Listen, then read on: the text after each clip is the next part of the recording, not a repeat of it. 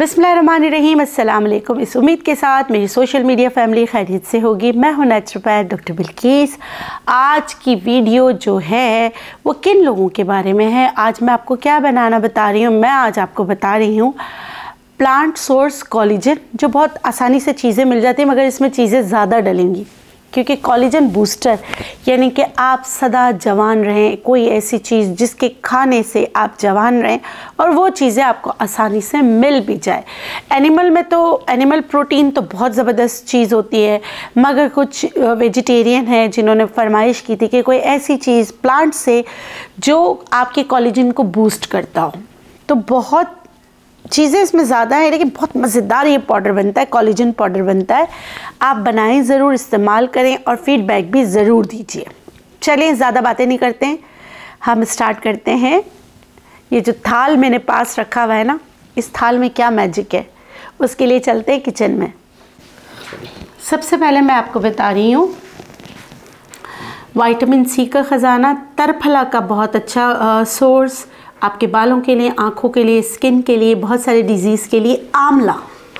आंवला पाउडर आंवला पाउडर मैंने ऐसा किया कि आंवला पाउडर का मैंने बीज निकाल कर उसको पीस कर पाउडर बना लिया। ये हमने लेना है। इसमें जो कॉलेजन बनेगा, इसमें हमें लेना है बीस ग्राम। ये गुलाब की पत्तियों को पीस कर पाउडर बना लिया है। गुलाब की पत्तियाँ जो हमारे पाको हिंद में मिलते वो वाले गुलाब की पत्तियाँ, उससे बेहतरीन कोई नहीं होती। आप वही लीजिएगा, उससे बहुत ज़्यादा फ़र्क पड़ता है। ये मैंने है पंद्रह ग्राम। अच्छा आप बोलेंगे कि ये थर्टी ग्राम इतना कम और पंद्रह ग्राम इतना ज़्यादा, क्योंकि ये हल्का होता है। वेट की वजह से है, ठीक है? ये है पहाड़ी पुदीना। पहाड़ी पुदीना मैंने इसमें लिया है पहाड़ी पुदीना जो है, इसको पीस कर पाउडर बना लिया, फिर आप लोगों का नीचे मैसेज आना शुरू हो जाएगा। अगर पहाड़ी पुदीना नहीं हो तो घर का पुदीना ही आप सुखा लीजिएगा। लेकिन पहला ऑप्शन जो है पहाड़ी पुदीने का है, वो भी आपने इसमें पंद्रह ग्राम डालना है। उसके मैंने सौंफ इसमें 200 ग्राम लिया है। सौंफ मैंने इसलिए लिया है ताकि ये निज़ाम हज़म को अच्छा बना सके। सारी चीज़ों की आप लोग मतलब माशाल्लाह इतने यूट्यूबर्स इतने अच्छे होते हैं, उनको सबका पता होता है इफादियत कितनी क्या क्या किसमें है। इसमें मैंने ऑरेंज आजकल आए हुए उसके छिलकों को पीस कर पाउडर बना लिया है। अभी भी थोड़ा सा सूखे नहीं है। छिलकों का पाउडर जो है, ऑरेंज का मैंने ले लिया है इसमें 20 ग्राम। ठीक है?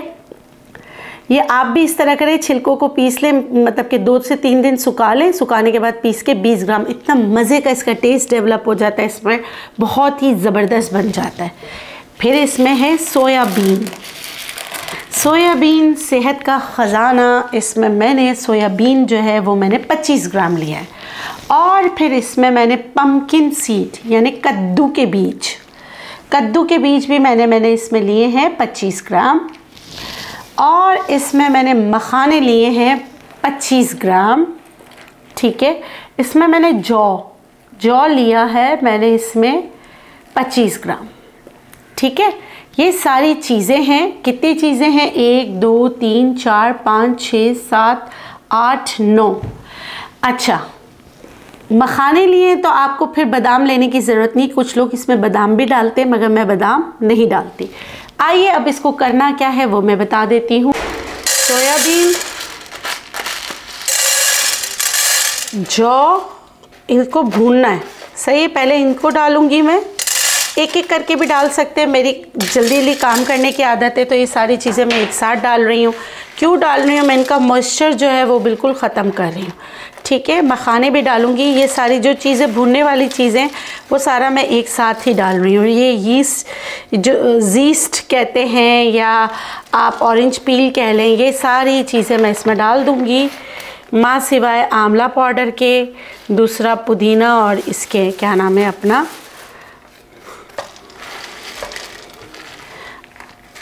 बाकी सारी चीज़ें मैं इसमें डाल दूँगी, ठीक है?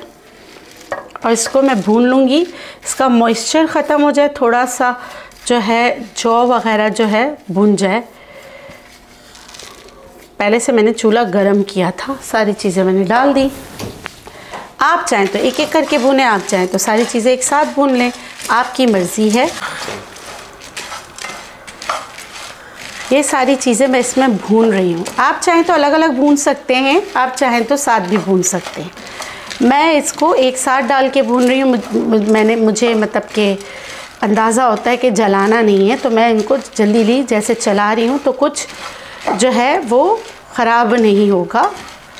कुछ लोग मखाना देसी घी में भूनते, मैं मखाने जो है देसी घी में नहीं भूनती। अच्छा आप लोग बोलेंगे सोयाबीन या ओट या जौ जो है हम कच्चा कैसे पी सकते हैं दूध में? तो पीते हैं, तभी तो रिज़ल्ट आता है। ठीक है, मखाने भी भून रही हूँ। मखानों को मैंने जानबूझ के ऊपर रखा हुआ है। ठीक है, देखिए, ये बस आपका चूल्हा, आपने बिल्कुल बहुत हल्की आँच पे भूनना है, याद रखिएगा। आपने इनको जलाना नहीं है।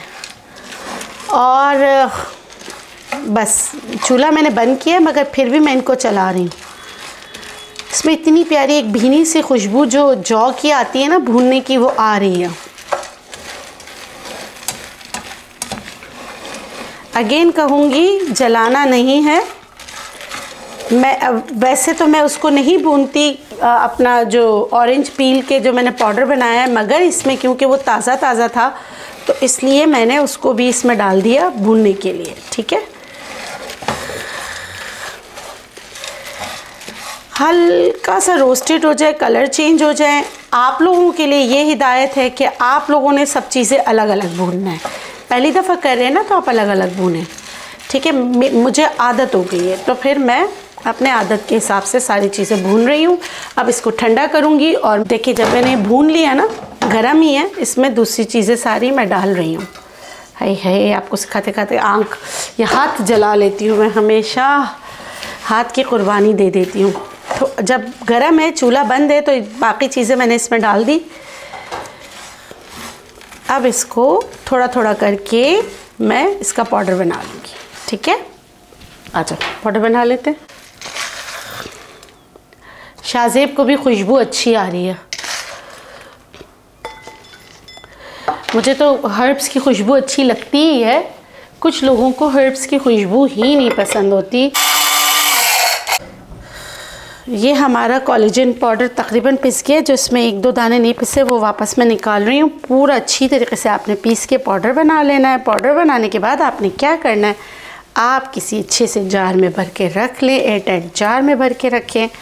और इसमें से फिर आप एक चम्मच लीजिए। सुबह आप अगर दूध सुबह पीते हैं तो सुबह आप वो दूध में डाल के पीजिए, बच्चों को दीजिए।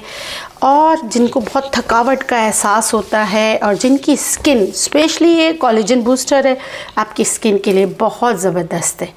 थोड़ी, अगेन, मेरी चीज़ों में मेहनत होती है, लेकिन जेनविन चीज़ें बताती हूँ।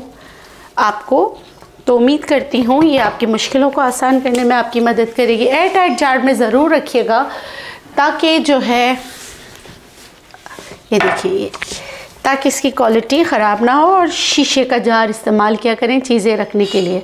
अब ये आप जो है अपने किचन कैबिनेट में भी रख सकते हैं। सुबह उठे, एक चम्मच भर कर एक ग्लास दूध में डालें और पीजिए। देखिए आपको बहुत फ़र्क पड़ेगा। अच्छा कुछ लोग होंगे जो कहेंगे कि हमें दूध हज़म नहीं होता तो आप पानी में मिक्स कर कर भी इसका इस्तेमाल कर सकते हैं। इसको आप जो है कोकोनट मिल्क आलमंड मिल्क में भी डालकर पी सकते हैं। मैं ये वेजिटेरियन की बात करें जो देखिए, एक चम्मच मैंने डाला है। मैं एक चम्मच और डालूँगी क्योंकि आज शाहजेब, गट्टू और सदाम तीनों ने मेरा दिमाग ख़राब कर दिया। आज आज शाहजेब अच्छा बच्चा बना हुआ है। मेरा ये जो है ग्लास बड़ा है, इसलिए मैंने दो चम्मच डाले हैं। आप रेगुलर ग्लास पे एक चम्मच डाल सकते हैं। ये आपका पूरा ज़बरदस्त कॉलेजन बूस्टर के साथ क्या है? ये आपकी एक मील हो गई। अब आपके सवालात आना शुरू हो जाएँगे। इसमें शहद डाल सकते हैं, इसमें चीनी डाल सकते हैं। शहद बिल्कुल ऑर्गेनिक हो तो डाल सकते हैं। अगर चीनी से बनाए तो नहीं डाल सकते। ठीक है, इसमें स्टीविया डाल सकते हैं, इसको मीठा कर सकते हैं, इसका टेस्ट अच्छा नहीं लग रहा है। ये आपको टेस्ट के लिए नहीं, ये आपके स्किन को स्किन कॉलेजन को बूस्ट करने के लिए बनाया ज़रूर इस्तेमाल कीजिएगा। इस उम्मीद के साथ जो हमारी इतनी इतनी मेहनत से हमें वीडियोस बनाते हैं, वो आपकी ज़िंदगी को आसान करने में आपकी मदद करेंगी। मुझे दीजिए इजाज़त इन एक नई वीडियो के साथ बहुत जल्द आपसे मिलती हूँ। अपना बहुत सारा ख्याल रखें, खुश रहें, शाद रहें, आबाद रहें। जिए और जीने दें।